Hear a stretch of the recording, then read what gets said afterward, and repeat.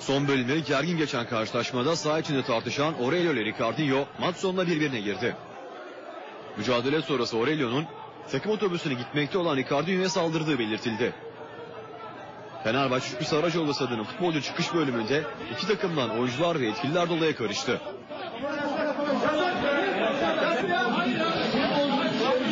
Beşiktaş Spor Şubesi sorumlusu Celalettin Kolot, menajer Ali Gültiken ve siyah beyaz yöneticiler olay üzerine Aurelio'dan şikayetçi olduklarını söyledi.